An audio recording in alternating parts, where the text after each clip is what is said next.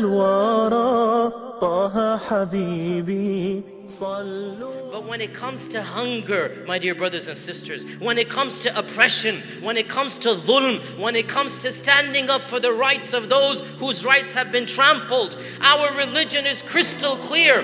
We don't care about your race, your religion, your creed, your color. Wallahi, we don't care whether you're Muslim or Kafir. If you're hungry, we have been told we need to feed you for the sake of Allah Azza wa Jal. وَيُطْعِمُونَ الطَّعَامَ عَلَى حُبِّهِ and what does Allah say? لا نريد منكم جزاء ولا شكورا. We don't even want your thanks.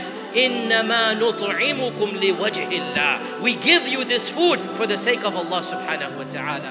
نصوص oo ثوابت ah oo لا تتغير نعم نصوصta aan isbedelaynin laakiin musoolka oo mutagayiraadka ah oo isbedelka ku dhacay markasta ku dhacayo ina meel timaa waxaa leedahay nusuusta waa inla fahmay si salafka u fahmay salafka dhexdooda isku si u fahmay أي لحظة تكون فاهم لا بقى فوق بس فاهم معه. هذه ويلك يتكون فاهم أنا كنت لماذا؟ فأحيانا يتوه الإنسان في غمرات الحياة وصراعات الدنيا. والدنيا كما يقول علي إذا حلت أو حلت. وإذا كست أي أو كست وإذا أينعت نعت. وإذا جلت أو جلت. وكم يعني من من من ساعات تمر.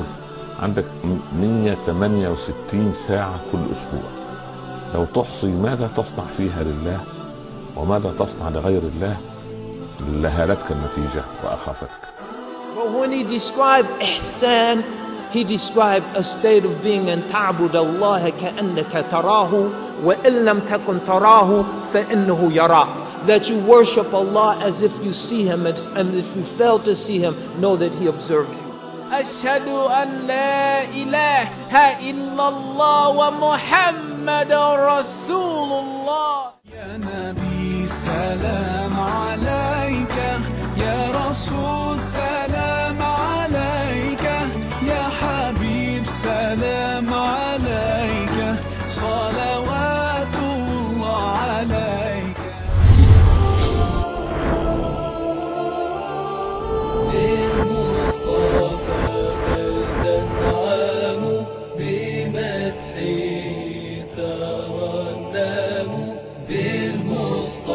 بالمصطفى فلتنعموا بمدحه ترنموا.